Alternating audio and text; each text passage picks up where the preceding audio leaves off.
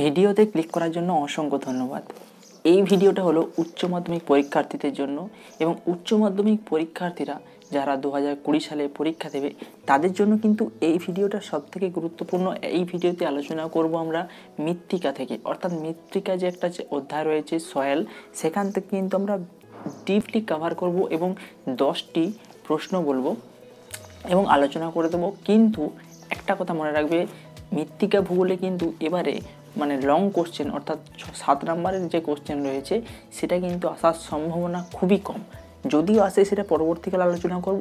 কিন্তু এখান থেকে সব থেকে বেশি কভার করবে তোমরা এক নাম্বার এবং দু নম্বরের প্রশ্ন। এখান থেকে সব থেকে বেশি দু নম্বর কোন প্রশ্নগুলো গুরুত্বপূর্ণ, সে নিয়ে আলোচনা করব আজকের এই ভিডিওতে ভিডিওটি প্রথম থেকে শেষ পর্যন্ত অবশ্যই পুরোটা দেখো এবং যদি তোমরা চ্যানেলে নতুন থাকো, চ্যানেলটি অবশ্যই সাবস্ক্রাইব করে নাও এ ধরনের ভিডিও আরও পাওয়ার জন্য। এবং এই ভিডিও শেষে আলোচনা করব মক টেস্ট সম্পর্কে। মক টেস্ট সম্পর্কে তোমরা যে ইন্টারেস্ট দেখিয়েছো, সেই ইন্টারেস্টের জন্য আমি কিন্তু মক টেস্ট আনব খুব তাড়াতাড়ি। এই ভিডিও শেষে সেটা আলোচনা করে দেবো।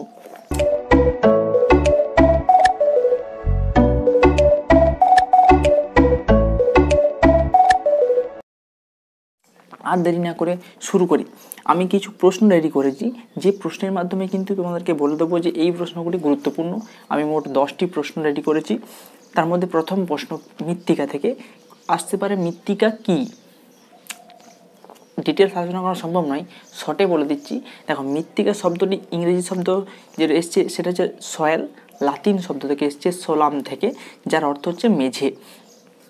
এই যে মৃত্তিকার হচ্ছে যে ভূপৃষ্ঠ রয়েছে, তার উপরে একটা শিথিল শিলাচূর্ণ স্তর শিলা স্তর রয়েছে, যার মধ্যে খনিজ রয়েছে, সমস্ত উপাদান রয়েছে, সেটা হচ্ছে মৃত্তিকা, এটা হচ্ছে মৃত্তিকার সংজ্ঞা।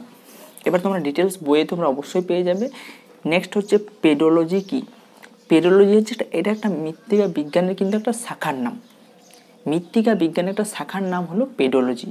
তো এটা কি করা হয় না? মৃত্তিকার উৎপত্তি, উপাদান, ধর্ম, বর্ণ এই সমস্ত বিষয় নিয়ে ডিটেলস আলোচনা করে এইটা, এই মৃত্তিকা বিজ্ঞান। নামটা হলো পেডোলজি। বোঝা গেছে নেক্সট কোশ্চেন আসছি একটু স্পিডে করছি, ভিডিওটা নাহলে অনেকটা বড় হয়ে যাবে। নেক্সট হচ্ছে রেগোলিথ। রেগোলিথটা কি? রেগোলিথ হলো আবহবিকারের ফলে। আমরা জানি আবহবিকার হয় আবহবিকারের ফলে যখন ওই শিলাচূর্ণগুলো মৃত্তিকার স্তরে পড়ে থাকে, এর ফলে কি হয়? একটা স্তর সৃষ্টি হয় যেই স্থানে আবহবিকারটা খুব বেশি পরিমাণে হয়, সেখানে মৃত্তিকার উপর একটা স্তর তৈরি হয়। এই স্তরটাকে বলা হচ্ছে কিন্তু রেগোলিথ। নেক্সট কোশ্চেন আসছি, মৃত্তিকার গ্রথন কি? ইংলিশে বলা হয় সয়েল টেক্সচার টেক্সচারটা কি? গ্রথন বলতে দেখো, মৃত্তিকার মধ্যে বালি, পলি, এই সমস্ত কোনাগুলো তো অবশ্যই থাকে। এই যে কোনাগুলো যখন সূক্ষ্ম সূক্ষ্ম কোনাগুলো একসঙ্গে লেগে থাকে, অর্থাৎ জয়েন্ট থাকে, এই সে, এটাকে বলা হচ্ছে সয়েল টেক্সচার বা মৃত্তিকার গ্রথন, একসঙ্গে লেগে থাকার ক্ষমতা। এটা বোঝা গেছে।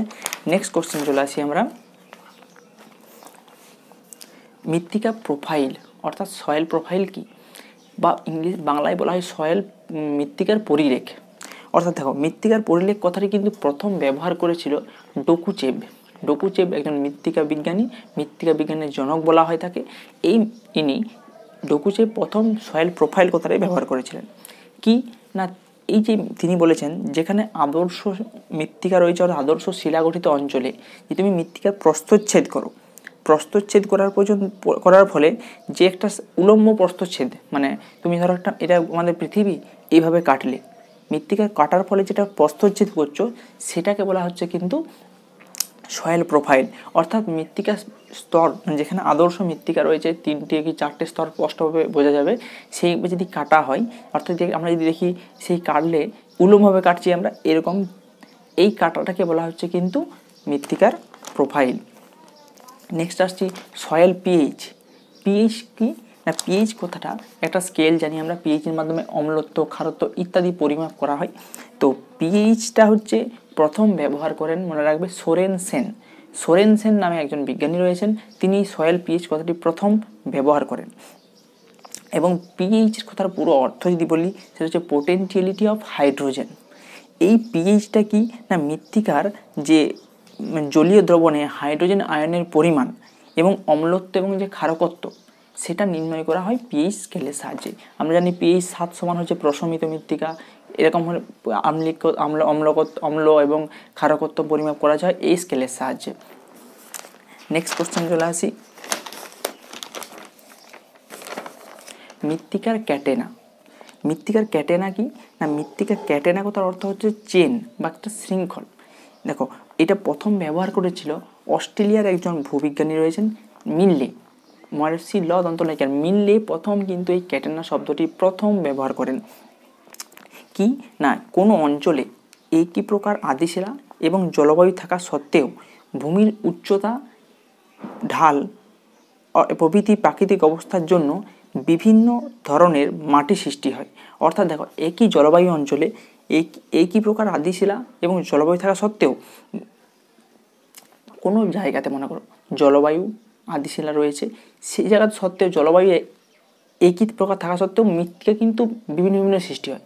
কোনো জায়গায় পরজল কোনো জায়গায় ল্যাটারাইট, এই যে মৃত্তিকার ধরনটাকে, এই এই যে ধরনটাকে, এটা বিভিন্ন ধরনের মাটির সৃষ্টি হয় যে প্রক্রিয়াটাকে, এইটাকে বলা হচ্ছে মৃত্তিকার ক্যাটেনা। অর্থাৎ একটা স্থানে জলবায়ু এক, কিন্তু মৃত্তিকা আলাদা আলাদা, এটাকে হচ্ছে মৃত্তিকার ক্যাটেনা। নেক্সট আসছি, পেড কি? পয়কার ড পেড, এটা খুব গুরুত্বপূর্ণ। পেড, দেখো, মাটির মধ্যে যে সূক্ষ্ম সূক্ষ্ম কণাগুলো রয়েছে সেই কোনাগুলো কিন্তু একসঙ্গে লেগে থাকে, অর্থাৎ গুটি তৈরি করে। এই গুটি তৈরিকে বলা হচ্ছে কিন্তু পেড। শর্ট কোশ্চেন অনেক সময় চলে আসে যে মৃত্তিকা গঠনের এককটি কি? মৃত্তিকা গঠনের একক হলো পেড। নেক্সট কোশ্চেন আটটা কোশ্চেন হয়ে গেল আলোচনা। নেক্সট দুটি কোশ্চেন বারে বলব। প্রথম, তারপর হচ্ছে এলুভিয়েশন আর ইলুভিয়েশন। এই দুটো খুব কোশ্চেন খুবই গুরুত্বপূর্ণ। এখান থেকে পার্থক্যও চলে আসতে পারে। শর্টে তোমাদেরকে একটু বোঝানোর চেষ্টা করছি। এলুভিয়েশন আর ইলুভিয়েশন মৃত্তিকার স্তর রয়েছে এ স্তর বি স্তর সি স্তর ডি স্তর। মৃত্তিকার এ স্তর সব থেকে উপরের স্তর। তার উপরে একটা ছোট্ট স্তর রয়েছে যেটা হচ্ছে ও স্তর বলা হয়, যেটাকে জৈব স্তর। মৃত্তিকা যে ধরো বিভিন্ন খনিজ রয়েছে, খনিজ কণা, সেগুলো কি হয়? ওপরের স্তরে রয়েছে এবং বৃষ্টির জল হচ্ছে এবং ধৌত প্রক্রিয়া নিচের দিকে নামতে শুরু করে। নিচের থেকে মানে কি? এ স্তর থেকে বি স্তরের দিকে নামতে শুরু করে। এই যে নামছে নিচের দিকে, এই যেটা এটাকে বলা হচ্ছে এলুভিয়েশন এ লয়ার সু এলু, এলুভিয়েশন এবং এই যে নামতে নামতে নিচের বি স্তরে এসে জমা হয়। এই সঞ্চিত হওয়াটাকে বলা হচ্ছে ইলুভিয়েশন। তাহলে এলুভিয়েশন এ স্তরে হয়, ইলুভিয়েশন বি স্তরে হয়। কীভাবে? না বললাম যে এই স্তর থেকে নিচের দিকে নামছে। ওই যে নেমে যাওয়াটাকে বলা হচ্ছে? ইলুভিয়েশন এবং নিচে এসে সঞ্চিত হচ্ছে, এটাকে বলা হচ্ছে ইলুভিয়েশন। আশা করি বোঝা গেছে। দশটা কোশ্চেন খুবই গুরুত্বপূর্ণ। এ ধরনের প্রশ্ন আরও নিয়ে আসব এবং এখান থেকে কোন কোন লং কোশ্চেন তোমরা করবে সেটাও বলে দেবো এবং আগের একটা ভিডিও কিন্তু আমি অলরেডি দিয়ে দিয়েছি উচ্চ মাধ্যমিকের জন্য। যারা দেখোনি ডেসক্রিপশনের লিঙ্কে ক্লিক করো, সেই ভিডিওটা দেখে নাও। সেখানে কিন্তু কয়েকটা প্রশ্ন ডিটেলসে আলোচনা করা হয়েছে। তোমরা দেখে নাও, ওটা অনেকটা সুবিধা হবে। এবং আজকের লাস্ট আমরা একটা কথা বলে রাখি যে, কোন কোন দিনে আমরা মক টেস্ট করব এবং কীভাবে করব? একটু ভিডিওটা বড় হচ্ছে, সময় করে একটু দেখবে তোমাদের কষ্ট, তোমাদের এই এই যে এতক্ষণ ধরে দেখছ, এটা কিন্তু আমি অনেক পরিশ্রম করেই ভিডিওটা তৈরি করছি, কারণ এই গরমের মধ্যে ভিডিও তৈরি করা খুবই কষ্টকর, তাও তোমাদের স্বার্থে, তোমাদের ভালোবাসার জন্য কিন্তু এটা তৈরি করতে পারছি। যাই হোক মক টেস্ট আমরা তিনটে ক্লাসে নেব, একটা হচ্ছে মাধ্যমিক, একটা একাদশ এবং একটা দ্বাদশ শ্রেণি। দেখো, একটা মাসে আমি তিনটে মক টেস্ট রেডি করতে পারব। কীভাবে না, কোনো একটা দিন, আমি তোমাকে সাত দিন আগে, আমার কমিউনিটি ট্যাব বা কোনো ভিডিও শেষে বলে দেবো যে কোন দিন আমরা মক টেস্ট নেব এবং কোন ক্লাসের এবং তার সঙ্গেই বলে দেব যে কোন অধ্যায়ের। সাত দিন তোমরা ওই অধ্যায় থেকে পড়াশোনা করবে। মক টেস্ট হবে শুধুমাত্র কিন্তু শর্ট কোশ্চেনের জন্য। শর্ট কোশ্চেন কারণ দেখো, মাধ্যমিক বলো, একাদশ বলো, দ্বাদশ বলো, শর্ট প্রশ্নের উপর গুরুত্ব কিন্তু এখন সব থেকে বেশি। এবং ভুল হওয়ার সম্ভাবনা সব থেকে বেশি কিন্তু শর্ট প্রশ্নে। তাই তোমাদেরকে শর্ট প্রশ্নে স্ট্রং হতে গেলে মক টেস্ট অবশ্যই দিতে হবে। তাহলে সাত দিন আগে তোমাদেরকে আমি জানিয়ে দেবো, আমার কমিউনিটি ট্যাবে তোমরা ওখানে একটু লক্ষ্য করবে বা আমার চ্যানেলটা একটু করে ফলো করার চেষ্টা করবে। তোমরা সেই চ্যাপ্টারটা তোমরা সাত দিন ধরে পড়াশোনা করো। সাত দিন পড়াশোনা করার পর তোমরা রেডি করে থাকো। আমি কিন্তু কুড়িটি প্রশ্ন, কুড়িটি কিন্তু বাজারে চলতি প্রশ্ন নয়, একদম গুরুত্বপূর্ণ। যে সমস্ত প্রশ্নগুলো মাধ্যমিক, একাদশ এবং দ্বাদশ শ্রেণীতে আসতে পারে সেই ধরনের প্রশ্ন রেডি করব এবং কুড়িটি প্রশ্ন রেডি করার পর আমি একদিন লাইভ আসব। লাইভ আসার পর লাইভ আসার পর আমি তোমাদেরকে একটি একটি করে প্রশ্ন থ্রো করব তোমাকে অ্যান্সার দিতে হবে এবং অ্যান্সার দেওয়ার পরে আমি কিন্তু সঠিক উত্তরটি বলে দেবো। এভাবে মক টেস্ট তৈরি হোক নিজেরাও স্কোর তৈরি করবেন।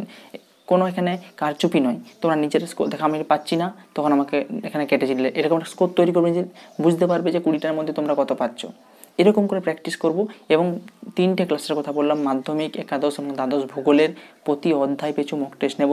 কুড়িটি করে প্রশ্ন হবে এবং আগের থেকেই জানিয়ে দেওয়া হবে। তাহলে আজকে আর ভিডিওটি বড় করছি না। দেখা হচ্ছে পরের ভিডিওতে। কেমন লাগল ভিডিওটি অবশ্যই লাইক করো এবং নিচের কমেন্ট বক্সে তোমাদের মতামত জানাতে ভুলবে না এবং চ্যানেল নতুন চালে চ্যানেলটি অবশ্যই সাবস্ক্রাইব করে নাও এ ধরনের ভিডিও আরও পাওয়ার জন্য। আজকে ভিডিও এটুকুই। নমস্কার।